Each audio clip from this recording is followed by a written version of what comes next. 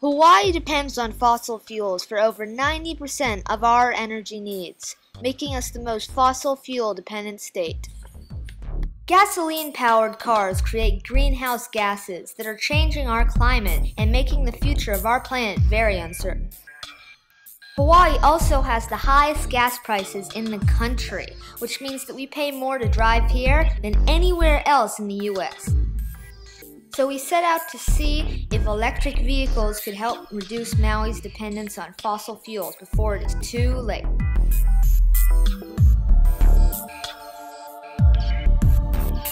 It seemed like a good time to ask this question, since by 2012, nearly every major car maker is releasing their first electric vehicle. And two of them are already arriving on Maui. The Nissan Leaf is pure electric. Its uh, range is up to about 100 miles. The Chevy Volt, on the other hand, starts with an EV mode, which is electric, and it switches to a gas generator that has a range of up to 375 miles. We're very, very excited that we have both electric vehicles and it feels good to offer a greener choice to the community. So does anyone already own an EV on Maui?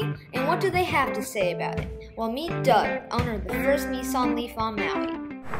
So you asked me what inspired me to buy the Nissan Leaf at this point, and frankly, I needed a new car, uh, and there aren't that many electric cars available.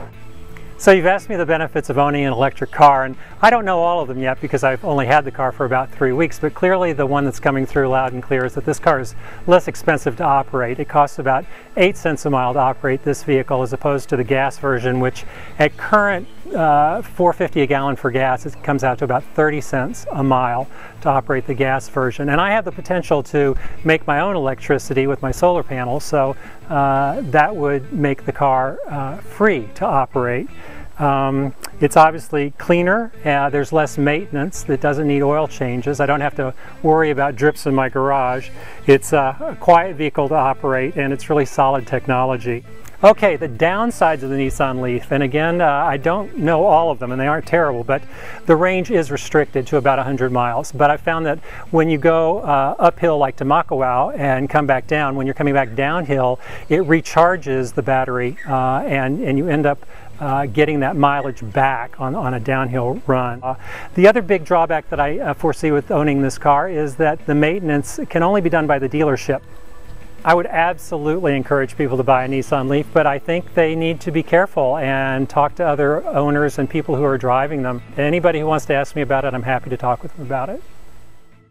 Because EVs are so new, there are still some technology hurdles for them to overcome. So we went to talk to another EV enthusiast about the biggest of these hurdles batteries.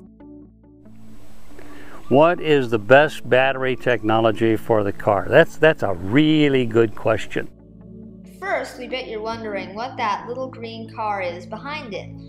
Well, that's a Flybo. Buck imported Flybos from China in 2009. The Flybo has a lighter version of the smart car body and is a plug-in EV but because its max speed is 25 miles per hour, it must be driven on the side of the road when on highways. But anyway, back to the batteries. What is the best battery technology for the car? Hybrids nowadays are using nickel metal hydride, which is um, a very good choice. The Volt and the uh, Leaf, I think, are, are being uh, powered by uh, lithium. Now there's there's many different kinds. There's lithium iron, there's lithium phosphate, there's uh, ideally lithium air. There are many different kinds of chemistries and the problem is we don't really know what's going to work. So we need a new battery source that has more energy in it, uh, better energy density, more energy per pound, and something that's a whole lot cheaper. The weak spot in electrical vehicles right now is batteries, and we're looking for lots of new technologies, and it is a multi-billion dollar prize for whoever comes up with the answer. So are EVs really zero emission vehicles? Well, it depends on how you charge them.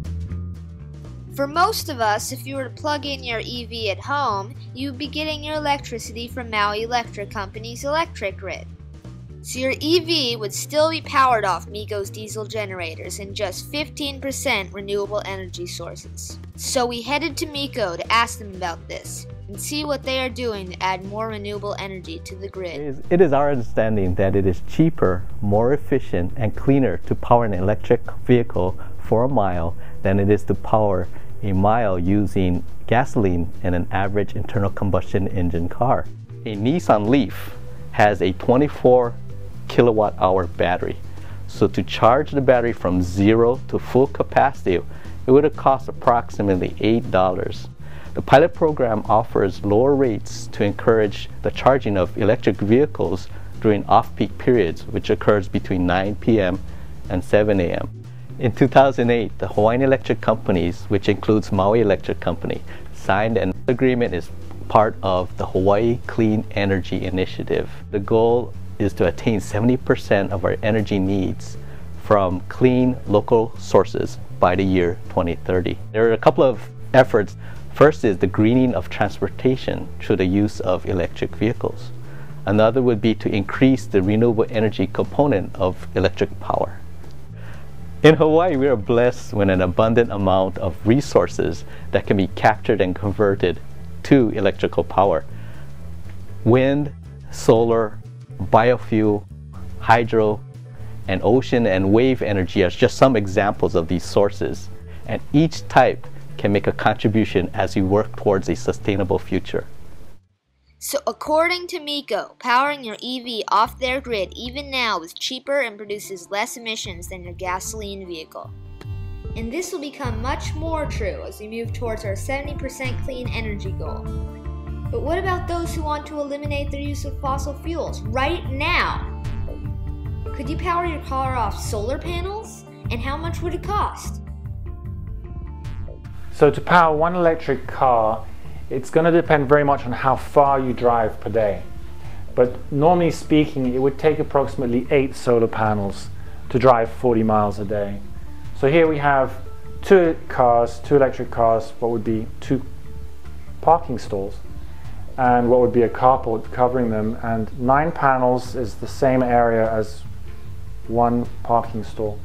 So what's interesting is actually in the space that it takes to actually park a car, if you just simply covered that area in photovol photovoltaic panels, you'd have enough power for the car. It would be possible to charge the batteries in the car directly off of the solar panels, but then what happens if cloud goes by and shades the panels, then, then the, the voltage drops. And this long term would not be good for the batteries. So a better solution is actually to feed the power from the photovoltaic panels into the grid and then use the power from the grid, from the electric company, to charge the cars. So at 100 miles a week, you're driving about 15 miles a day.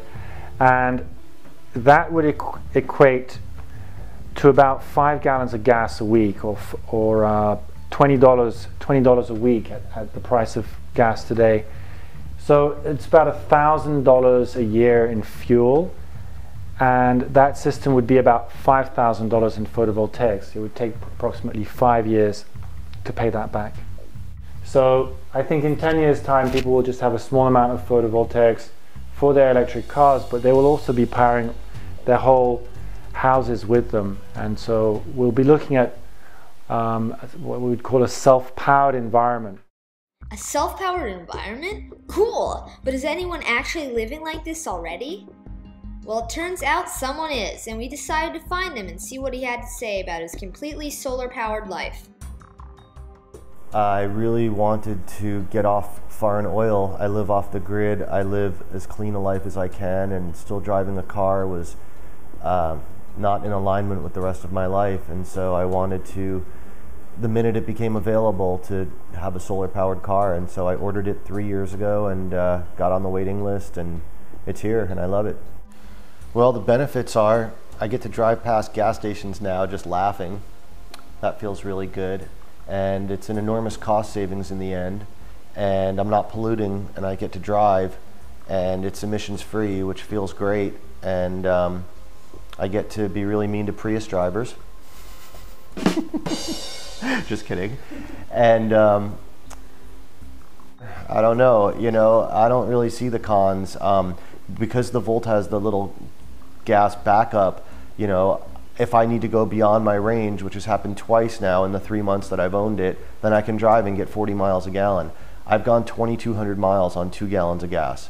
So I'm getting 1,100 miles a gallon so far. I needed to add nine panels to my system to power the Volt, which cost around $7,000. So if you break that down, that's about what I would have spent in two years on gas. And that's if gas stays the same price, which it's not, it's going to go way up. And so basically in two years, not only will I be driving pollution free, but it will be free. My entire system consists of 23 solar panels and 24 batteries. That whole system, including all the labor to install it, is under $30,000.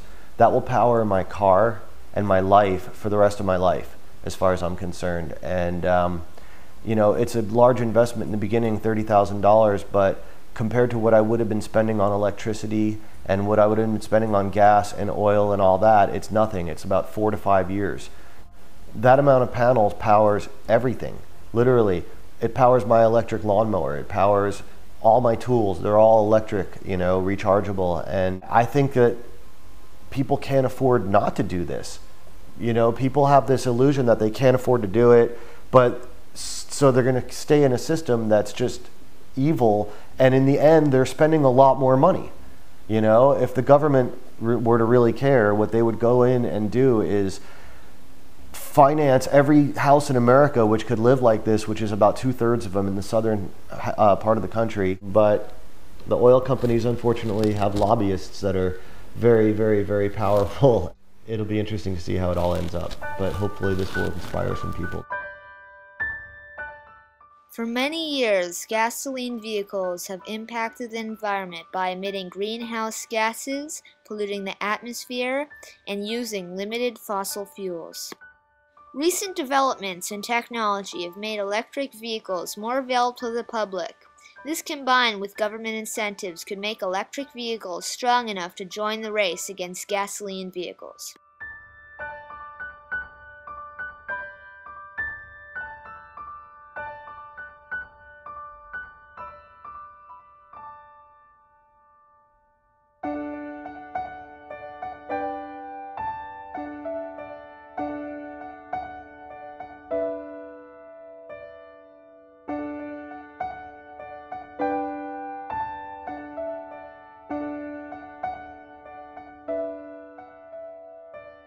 In the end, it looks like electric vehicles may eventually pull ahead and make old inefficient gas guzzlers a thing of the past.